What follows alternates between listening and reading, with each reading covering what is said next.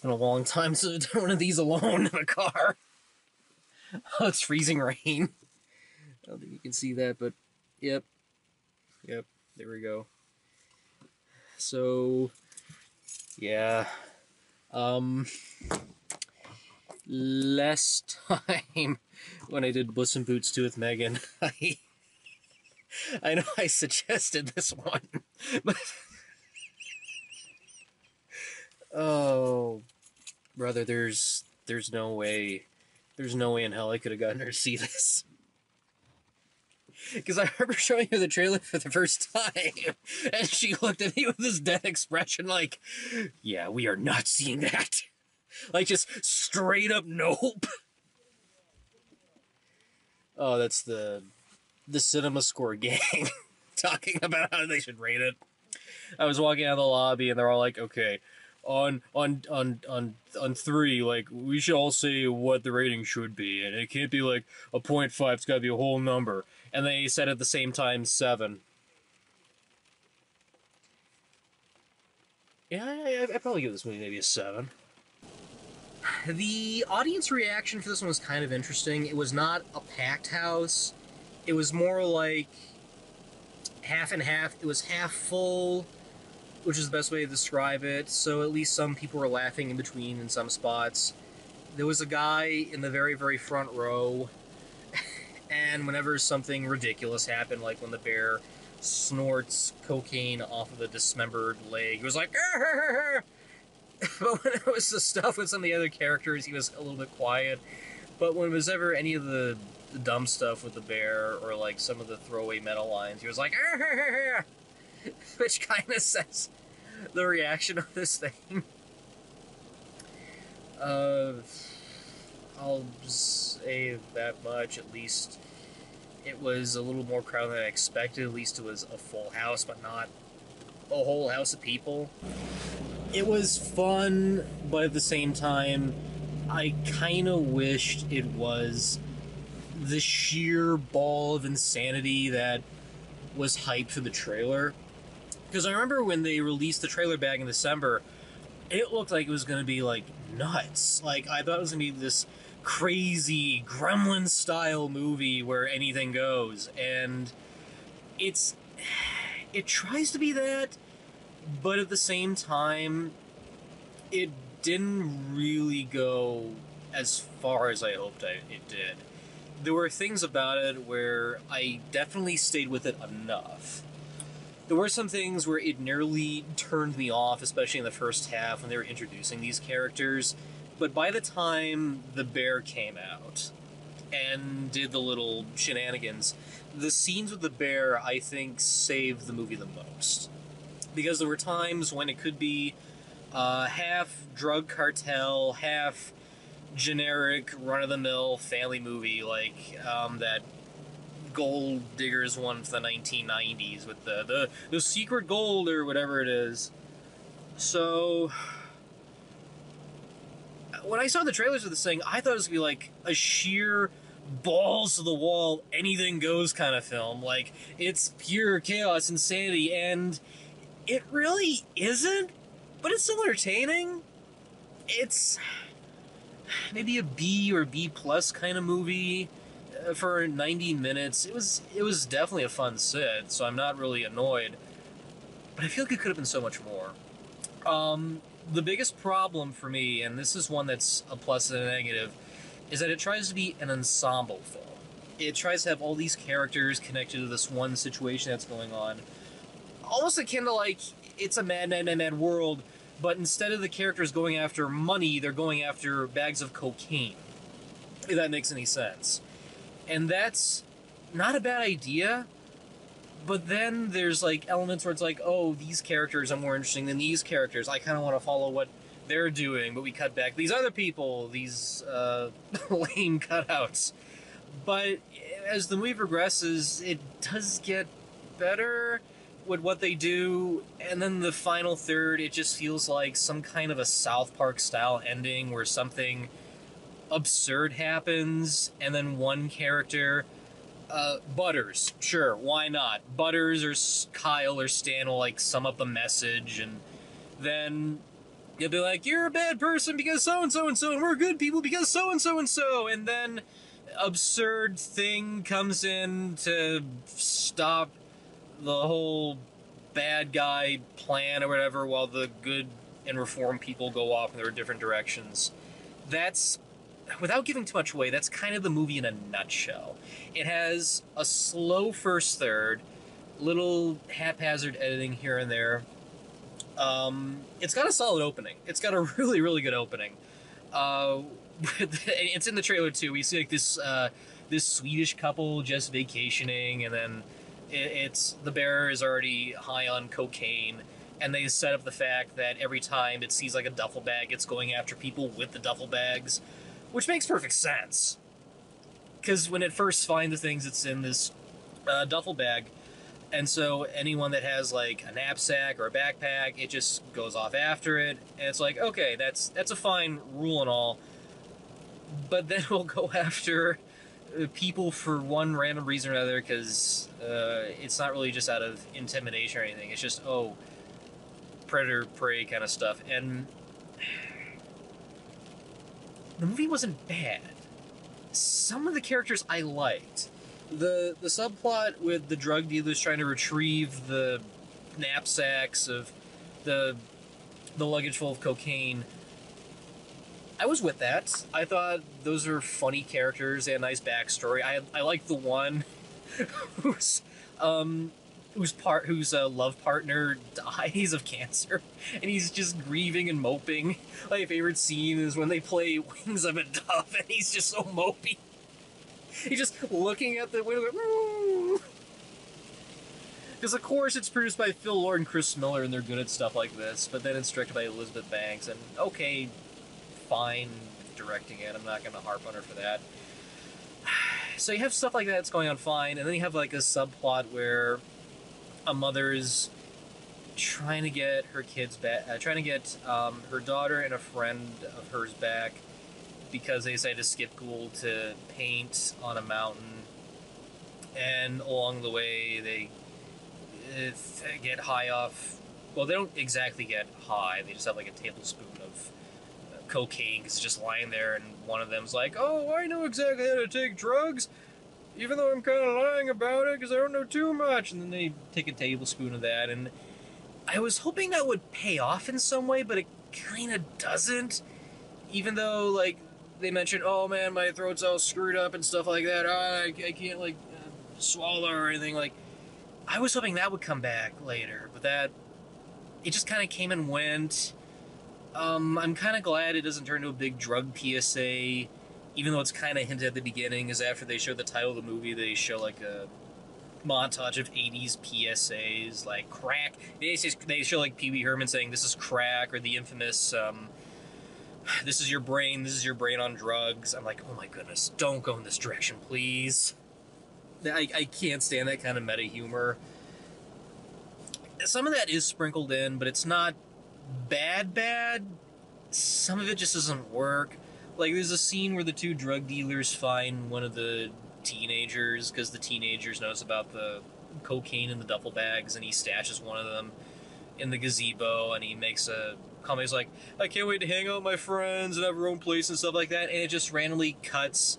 It, does like a Family Guy style cutaway, where it just cuts them all together near the house, and I'm trying not to give away the details of the gag in question because what makes it so why did they do that worthy is because uh, before that uh, one of the drug dealers bumps into the teen and his friends and they beat the rolling crap out of them. And then we see them in that cutaway. They're all like disheveled and bruised and stuff. Again without giving too much away.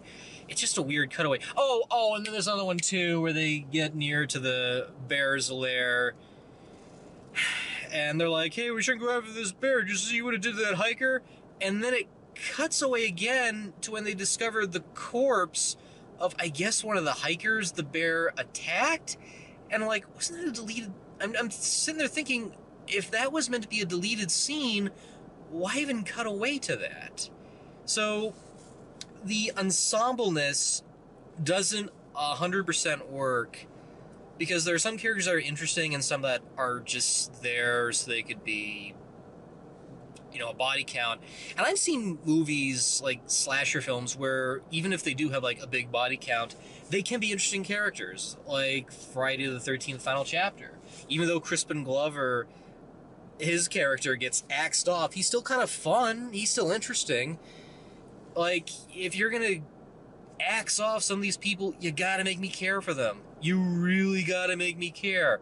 There's this park ranger who's supposed to be a straight up lazy kind of nuisance and has like this peace loving uh, boyfriend and he's like oh you know we can't call them animals. To me they're friends. I don't like that word animals like uh, okay if you're just gonna make them like that kind of direction where they're just straight up like peace love understanding like reflections of the time like it's just something about it that just made me go you're you're gonna be food man you're gonna be bear food i just know you're gonna be bear food and that does lead to an interesting scene, it's, which is in the trailer with with the tree bit. Um, but when the bear was on screen, it it did save the movie quite a lot. Uh, the effect alone is intentionally cartoony. Um, there's they could they could have done animatronic in a couple of spots, but I can see why they went with a CGI creation. Because we're talking about moments where this thing has to like leap into an ambulance or just climb a tree and you could do that with a physical effect but it, it's yeah I'm, I'm gonna give that a pass because at least the fakiness and cartoony nature of the bear in general in this film did kind of work and it did hold my interest. Sort of the thing just lumbers into the screen. It kind of piqued my interest because I don't know if it's going to attack people or just screw around. So for that moment alone, at least that was holding it together. Um, but aside from that, it's a 95 minute movie. It delivers what it's advertising. I can't say it's terrible because there are people that are at least giving their all. They know exactly the kind of film they're doing. So it's half meta, half serious. Some things work, some things don't if there was one character I could easily have done without because he's so easily disposable, is there's this cop character that's clearly in his 50s or 60s, and he's like, I'm gonna find those drug dealers, and he goes to the park, and they play on the whole idea that, oh, in a traditional action film, or even a drug cartel kind of film, it's like this strong, hunky looking cop, and instead you have like this over average weight, 50 to 6 year old guy that can't even do much and it took me a while to realize that until it got to the scene where he's on the gazebo with this the the duffel bag of drugs, and he's like, "Let him go. Okay, don't move. I gotta get down here. Uh, uh, I don't know exactly how to get down. How'd you get up there? Uh, I just jumped from a tree. Uh, uh, how do I do this? Uh, okay, uh, you go over there. Okay, don't don't make a move. Like, it's trying to be self-aware, and I can see that working. If this was if this was something like South Park, just straight up meta, I can see it kind of working in that general direction. That's the best way to describe it. It's like they took the script for a South Park episode and expanded it into 90 minutes. I can definitely see who would be who in that general direction. Um, but as it is, it's very serviceable but I can't quite say it's the cinematic thing. I was. It's called Cocaine Bear for crying out loud. Like, it's not going to be a masterpiece by any means. If it wasn't an ensemble film and it just focused on the drug cartel stuff, maybe it could have worked just fine. I feel like they wanted to like cram everything into it. Like, oh, first it's this drug escapade film. No, no, now it's got to tackle the 80s passage where it's the generic family that's trapped with the whole thing. Um, if it focused on one storyline, I think it would have been better. Instead, it just throws in all these multiple storylines into the mix, and there's kind of a reason why. Because one of the, because they got to have this character there to help these characters. They have to have this character there because her skills could help this, and it's it's that kind of film where they can't remove this storyline or that storyline because then they have to explain why these characters able to get medical attention and things like that. Oh, the mother's a nurse. We can't cut her storyline out, or otherwise, how are we going to explain one of the drug uh, uh, dealers from getting injured? We got to fix that up there. So, it's not terrible. It's not bad. But I I think I exceeded my expectations a little too much. With that said, as a popcorn film, it's fine. it's a fine B movie if you're just looking for time to kill and have just a basic 90 minute sit. But for the most part, it's not Oscar worthy. It's not going to win any awards. Um, I can see this easily getting a cult following. Not a big one, but definitely a small one. I'd say for a movie that has a high concept and really tries to fly with it, it doesn't go as far as I hoped it would have. But with that said, it's entertaining. I can't write it off as bad because it did give me what I was looking for. But at the same time, when you really look at the trailer, it's like this Looney Tunes gremlin style madness. You think this bear's gonna go loose and do some damage, and while there is damage, it doesn't go as far as it could. It's certainly a much more smaller movie. It feels more encapsulated in itself. And I feel like with the concept that it has, it could have gotten a lot farther than it should have. But at the same time, it still tries to play around with itself. It tries to be like, 80s esque, even though it's not really dripping with 80s too much. Though, soundtrack's pretty good. Like when it's when it's chasing after the ambulance, there's a good play of uh, "Can't Get Enough." And I've been like avoiding reviews. I don't even know if the reviews are out on this thing, so I wonder. Because I, I don't know if there's like a critical embargo on this thing either. I know I, I shouldn't look at Rotten Tomatoes, but it's like I'm a little curious because I oh oh yeah that's not bad. Oh okay, I usually don't go by Rotten Tomatoes, but uh, right now uh, critical score is 71, audience is 79. Uh, what does Metacritic have to say? Because I, I, I literally just went in not knowing how it's being received critically, so. Oh. It's uh, 52 on Metacritic. Uh, IMDb. Because I just.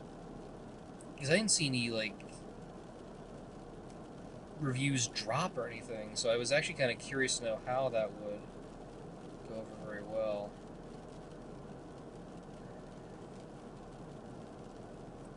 Ah, so far, it's sitting at a 6.7% on IMDb. So all around, it's middle of the road, and that's kind of the best way to describe it. It's it's it's not bad. I think the people making it in front and behind the camera know exactly what it is. They try to have fun with it. So for a straight up popcorn film, I'd say it's worth checking out just as a matinee not as a night film or anything, just a matinee. If you're still uncertain, I would say definitely give it a rent. That's probably the best recommendation I can give for this kind of film. It's really just a straight up serviceable animal gone wild kind of film. Is it Jaws? No. But it's way better than Prophecy. Actually, I'd take this over Prophecy any day. Especially what they do in the last third when they reveal what the bear is really doing with the cocaine. I don't want to spoil it, but it's like okay, I, I can I can see why it's the bear is acting that particular way. So I think on that note alone, um, that's just my two cents. It's bet it's it's thankfully it was not a bad movie, but at the same time, it could have been better. um, I probably put on the same level as maybe Weird, the Weird the the, the the Weird Al biopic that came out last year, Daniel Radcliffe. I probably put on the same level as that.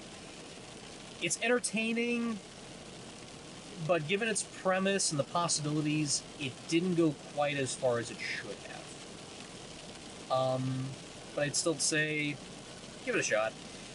Uh, yeah, I gotta get home because it seems to be really, really coming down. So, uh, until then, I'll see you in the next upload, and hopefully I'll have Megan here. And if you're watching this, Megan, be glad I didn't replace you with a can of Pringles. Is that would have made things even worse? I, I love you, dear. I think she might kill me for this. okay, later, everybody.